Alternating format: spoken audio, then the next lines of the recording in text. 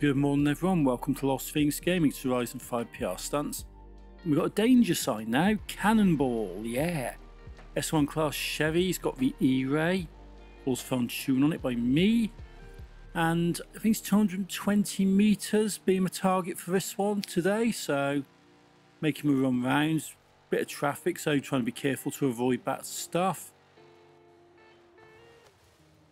Cut a corner a little bit there, skidding it a bit, but it doesn't matter. I think as long as I'm hitting about 190, I think when I hit the ramp, I should be okay.